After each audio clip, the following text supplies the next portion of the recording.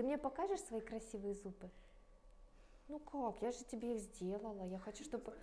Да, я так старалась, я очень хочу посмотреть, как ты их чистишь дома. Ты стараешься, чистишь зубки? Или мама чистит? Смотрю твой ротик пальчиком. Максим, просто посмотрим. Ну ладно, Никто давай, пол- полежи. Тебе ничего делать не будет.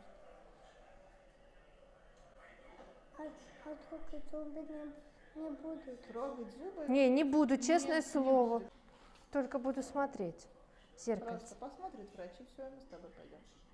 То я даже не буду трогать твои зубки. То молодец. С одной сторонки я посмотрела. Же еще. А, покажи язык. Давай. Нет?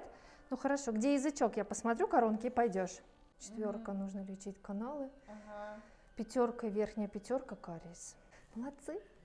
Кариозной поверхности, которая может быть на четвертом зубике. Вот, ну и, соответственно, внизу, я думаю, что вы это смотрели, я вам больше вверх хотела показать.